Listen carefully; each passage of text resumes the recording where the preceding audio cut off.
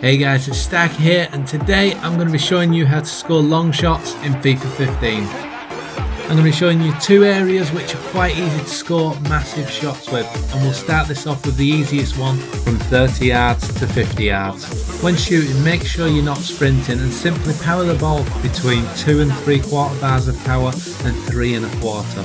This will unleash a fierce shot which will swerve around the goalkeeper and dip just under the crossbar. And as you can see this is the exact same game, I've just scored a second in the third minute. Now me personally, my favourite player to do this with is Paul Pogba from Juventus, but you can do it with any player with over 85 stats on long shots and shot power. Now this isn't a guaranteed goal, but once practiced, you should be able to score this every single game. So now we'll move on to the slightly trickier 18 to 30 yard shots. Once you find yourself in this area, you want to power the shot to about two and a half bars. And the reason I say this is hard is because each player's shot power is different and therefore the shot has to be adjusted every time. If you're going to be using players like Ibrahimovic, then the maximum power you want to hit from these distances is two and a half bars, otherwise it will go way over the crossbar.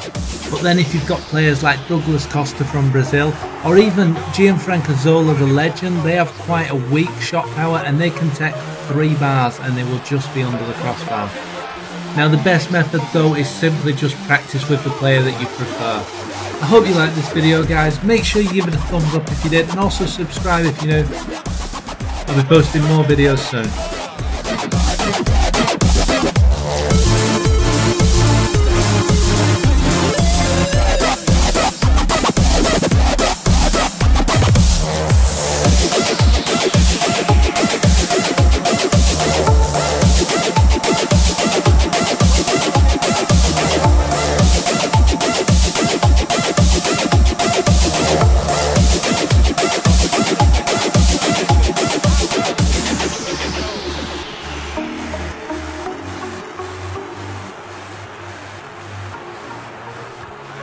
Also guys, if you want to see a long finesse shot tutorial, please leave a like and a comment and let me know that you'd like to see it.